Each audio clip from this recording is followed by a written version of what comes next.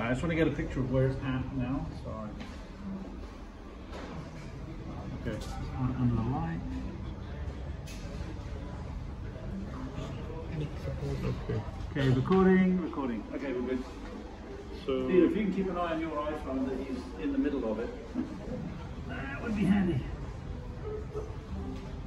So just to continue on the highlights, you want to bring the the throat highlight on the Adam's apple here a bit a bit on the neck muscle. You you don't want to do you don't want to do the whole neck muscle.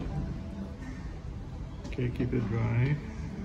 Then again, not the whole uh, initial highlight, just a bit.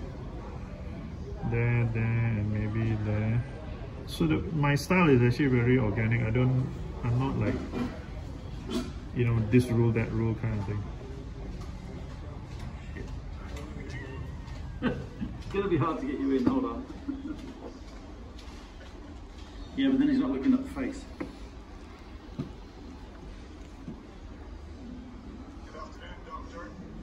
Who's that speaking? Make the crazy Scotsman. Oh no, you're live. Are you are you back at home or are you in in UK, in UA, U, Ukraine. Ukraine or what? He's in Kuwait. All right. We have your audio turned down to seem like we're recording this so we can edit it after.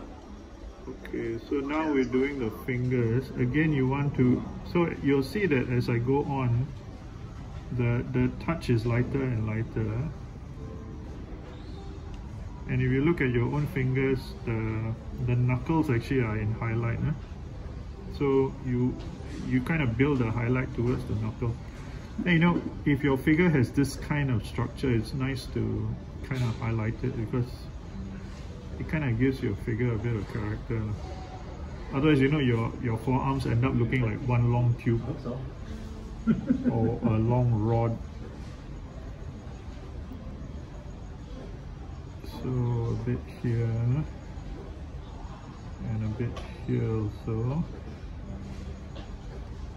Yeah, so don't waste the the, the sculptor's, uh, you know, because the sculptor did do a lot of work in creating these things. huh. So you see, like the sculptor was trying to to show this muscle, then yeah, by all means paint it.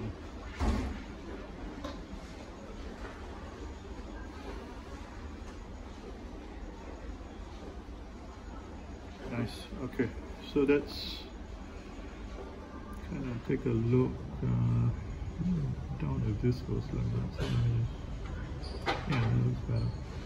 Okay, so this is where we are now at this stage. Um, next stage is going to be a. Uh, oh wait, did I do the eyes?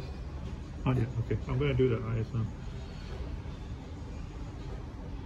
Okay, for the eyes, at least the first eye, you want to actually grab the top and bottom eyelid, and your brush needs to be quite dry, so it's almost like a dry brushing. Eh? There and there. That's all you want to do. Don't do more than that because you'll end up with a blob of paint. So again there and there. So that's all you want to do for the eye. Don't do more than that.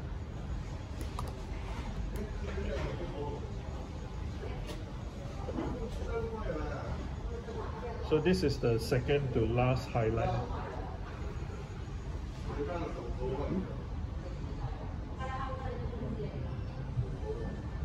Now in your last highlight, you can either use uh, straight flesh.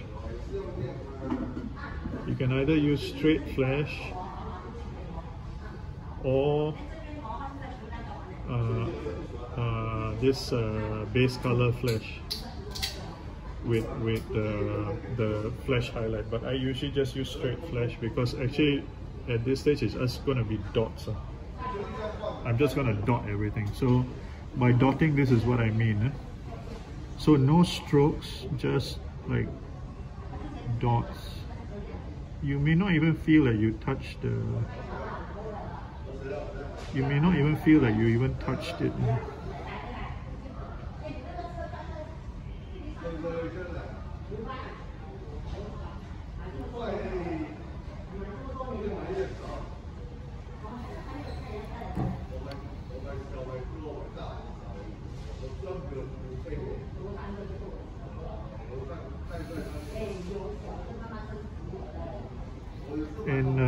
This high highlight is only on the tops. Huh? You don't you don't put it in the shadow areas and all that. So it's just like that. You don't do more than that. And then when it comes to the tendons, you may want to emphasize the tendons like that. So it's just for the tops. Huh? So you want to highlight knuckles and things like that. You'll use the same highlight color later on for the for the uh, fingernails. So yeah, it's worthwhile painting fingernails in this scale. It's quite obvious in, when you do it. So I'm just kind of gliding, it's like very bit here and there, here and there. Just create some visual interest, not don't need to do uh, like a lot. Okay, so that's the final highlight. Okay so this is where you are. So at this stage so we went from uh, three shadows up then to three highlights up. So from there we're to go from first highlight down to mid-tone. Okay so this is just midway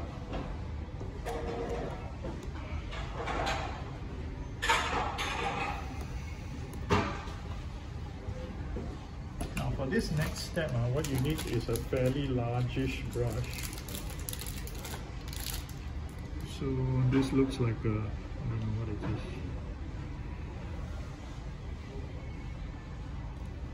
This is number two, is it? I don't know, this looks like a number one or number two, or number four actually, okay. Now the idea behind this next step is to blend your, what you've done so far up to this point. Then from there, you're going to pick up highlights and go downwards. So I'll show you what I mean. So it's already dry now. You see this, right? So get a visual image of this. You're going to take, uh, you're going to take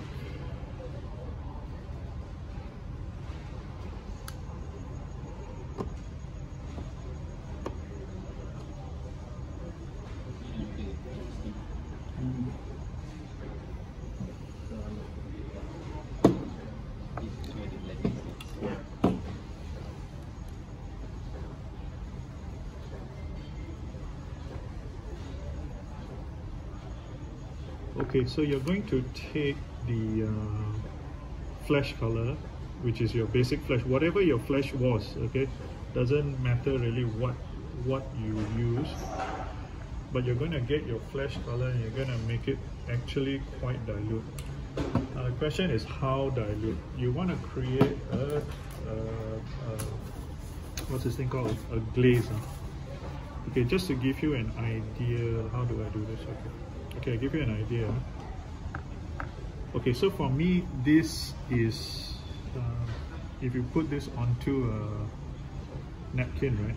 Forward yep forward a bit forward a bit. Forward a bit. Yeah over the black there you go. So this you can see coverage there. This is called base coat. Okay this is called base coat. Uh, perhaps this is dry brush okay? Uh, this is base coat. No this is base coat uh, texture. This is dry brush texture. Uh, no in fact this is layer texture. Then if you go one level up I would say this is base coat and if you go one more level this yeah. is actually glaze. Can you see? So you're going to use this and if you talk about wash uh, wash looks like this. Oh this is wash. Okay? So you're going from dry brush to layer to base coat to glaze to wash now we are going to use this this consistency which is uh, glaze huh? so again I'll show you huh? this is glaze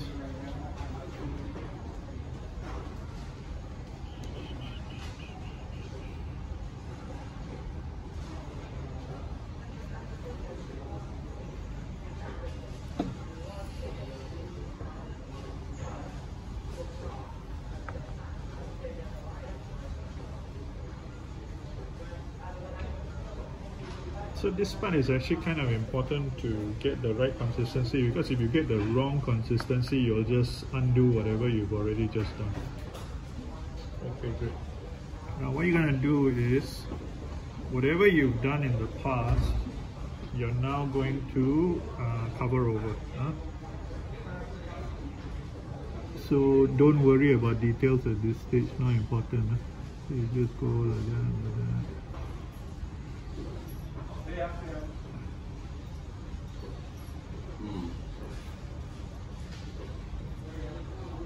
Oh, Probably should have done more on the back.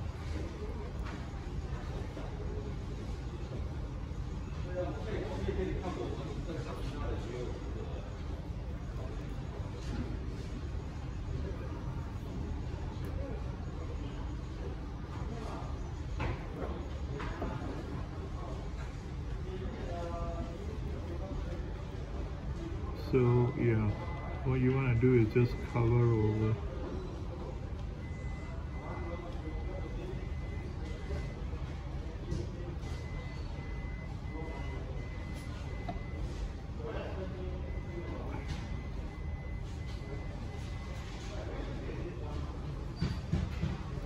At first it looks like very alarming because it looks like you're going to undo everything but actually acrylic has a transparent effect.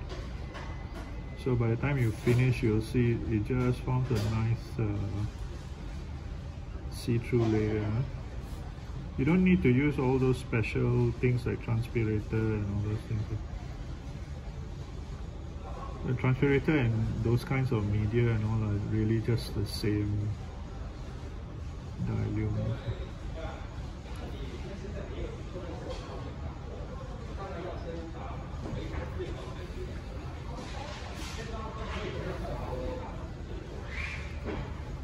So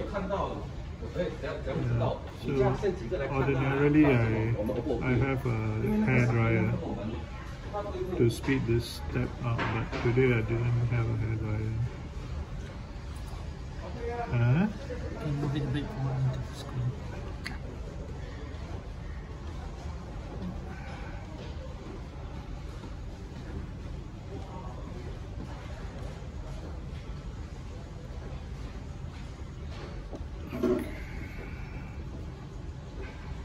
Yeah, so here we have to wait for it to dry.